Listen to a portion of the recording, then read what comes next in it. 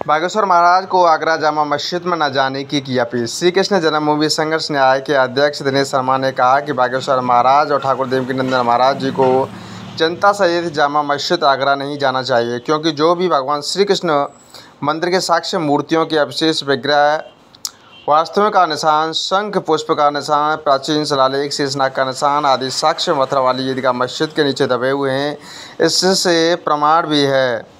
भगवान श्री कृष्ण की मूर्ति बहुत ही विशाल और अष्टधातु की थी। इसमें सोना, चांदी, हीरे, जवाहरात जड़े हुए थे। मुगल शासक औरंगज़ेब ने भगवान श्री कृष्ण की बेशकीमती मूर्ति और विग्रहों को अपने खजाने में शामिल कर लिया। भगवान श्री कृष्ण जन्मभूमि मंदिर में कोई भी विग्रह व मूर्ति जामा मस्जिद की सीढ़ियों में नहीं है। यदि आप वहाँ सनातन हिंदुओं को इकट्ठा करके ले जाओगे और जामा मस्जिद की सीढ़ियों में कुछ नहीं मिलेगा, उससे जनता और न्यायालय में हिंदुओं की छवि खराब होगी। जो कुछ भी है, वह मथुरा वाली शाही ईदगाह मस्जिद में दबा हुआ है। हिंदुवादी नेता दिनेश शर्मा ने देवकीनंदन महाराज और बागेश्वर महाराज से प्रार्थना की कि ऐसी गलती ना करें, जिससे सनातनी हिंदू आगरा में मायूस होकर लौटे।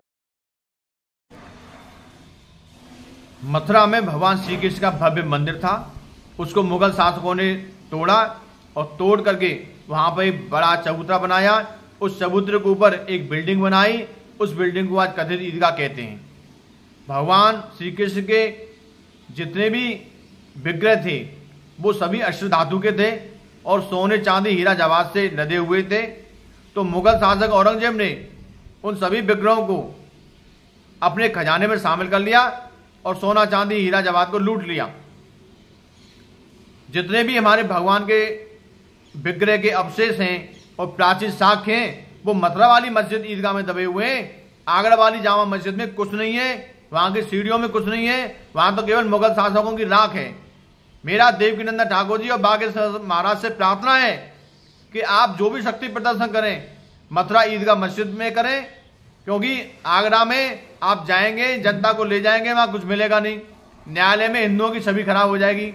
इसलिए आपसे मेरा पुनः प्रार्थना है कि मथुरा ईदगाह मस्जिद में सभी प्राचीन साक्ष्य मौजूद हैं।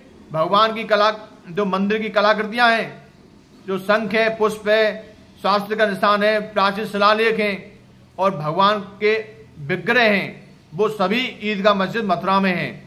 आगरा में कुछ नहीं है, वहाँ जाना व्यर्थ हो जाएगा, इसलिए ऐसी गलती नहीं करें।